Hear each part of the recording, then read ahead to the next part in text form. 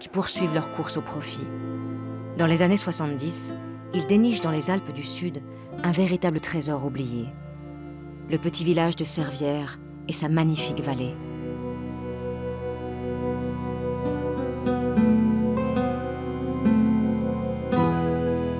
Ils décident de détruire ce village, incendié pendant la Seconde Guerre mondiale, et de bâtir à la place la 15e station du plan Neige.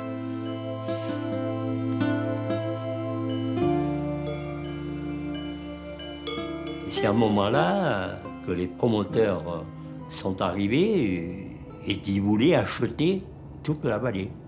Mais on avait tous la même idée, c'est de rester propriétaire de nos chalets et notre, notre outil de travail.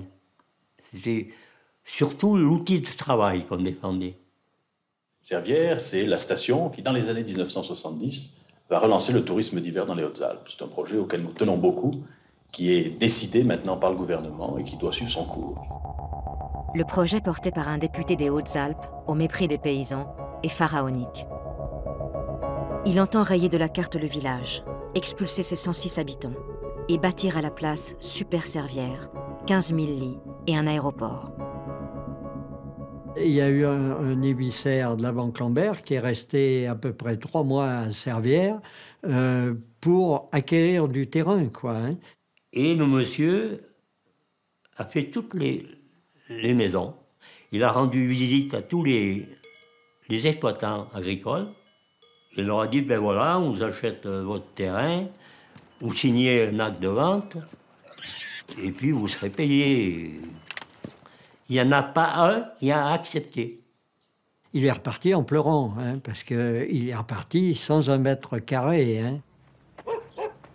Les habitants de Servières s'unissent contre les promoteurs. Ils défendent leur culture, leur travail. Les plus anciens du village vivent encore comme au début du siècle et se moquent bien du confort. Ils cultivent leur liberté. On vit avec nos bêtes comme, euh, comme on vivait tout dans le temps, quand on était jeune. Vous en avez combien là Eh bien là, il y a, y a quatre vaches, la mule, deux chèvres et sept moutons. Et vous vivez avec eux Ah oui, avec eux. Pourquoi Bien parce qu'on a chaud. Et puis je habitué comme ça. Et puis c'est plus commode pour, euh, faire nos travaux, pour euh, surveiller nos bêtes. Servière, ça aurait pu devenir une grande station ben, Peut-être, je sais pas. Mais on ne sait pas ce que ça aurait donné. Mais il y en a déjà tellement des stations, il y en a bien assez. Vous croyez pas? Ils payaient aux environs de 50 centimes de francs le mètre carré. Euh, s'ils avaient vendu euh, leurs hectares, ça leur aurait fait une poignée de francs, quoi, chacun, quoi. L'opposition des habitants au projet de Super Servière sera relayée par la presse nationale et durera plus de trois ans.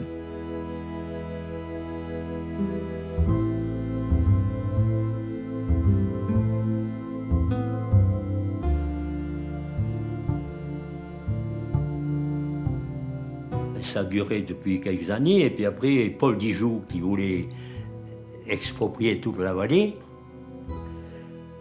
a, provoqué une réunion à la préfecture où il y avait le, maire, euh, ses adjoints, et le député et le préfet.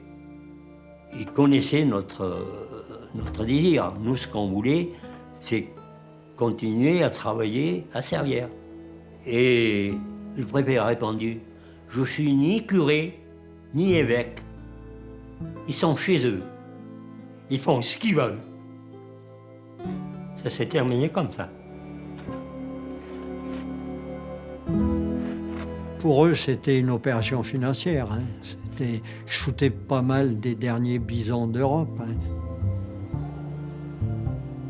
Les terrains qui sont restés, les agriculteurs qui sont sur ces terrains à l'heure actuelle, ben, ma foi, en vivent.